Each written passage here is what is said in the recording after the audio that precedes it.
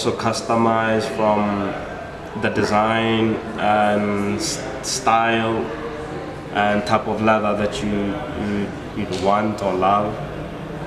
Uh, yeah, basically that's it.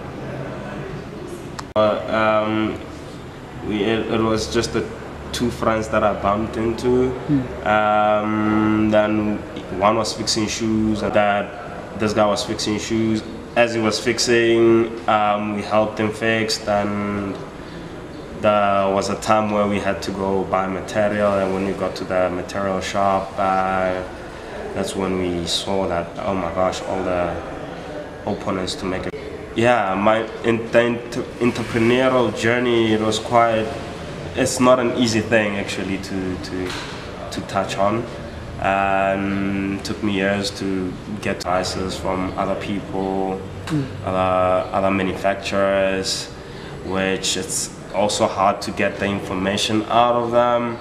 But thanks to those who helped, uh,